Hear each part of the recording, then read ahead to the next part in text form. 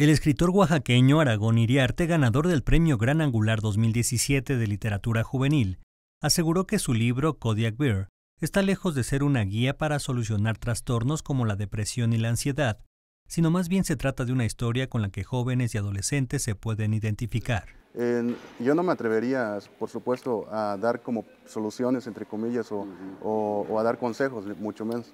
Entonces, eh, sí, nada más es esta aplicación de la experiencia y, yo creo que si, que si le ayuda a, los, a, los lectores, pues qué bienvenido y que yo me sentiría bien feliz.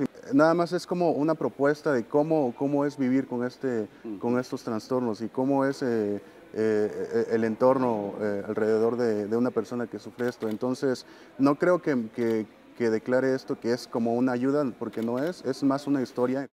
En entrevista con Otimex, el joven escritor aclaró que no se trata de una obra autobiográfica, sino basada únicamente en experiencias vividas en relación con estos trastornos. En sí el personaje no es autobiográfico, la novela tampoco, pero eh, los trastornos sí. La situación, la situación sí, por supuesto. Eh, es, un, es un fenómeno que a mí me sucedió y yo creo que lo pude representar ahí lo más fiel que, que, podía. Eh, pude plasmar toda, toda, todas las, las, sensaciones que yo tenía en los momentos de depresión y ansiedad, se los, se los pasé o se los heredé a mi, a mi personaje entonces.